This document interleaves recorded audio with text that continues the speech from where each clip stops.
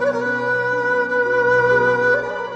В Отечественной войне участвовали тысячи наших героических солдат и офицеров. Одним из них был отважный разведчик Маис Ягубов. Окончив в прошлом году высшее военное училище имени Гейдара Алиева, Маис приступил к военной службе в Нахчеване. Офицер спецназа, разведчик, он с гордостью носил лейтенантские погоны. Маис Ягубов мечтал дойти до Шуше. Он проявил героизм в боях на Физулинском направлении и при освобождении Гадрута. За отвагу его прозвали драконом. Разведчик героически пал в боях за освобождение села Тук Худжевянского района. 22-летний лейтенант Майс Ягубов посмертно награжден медалью за Родину.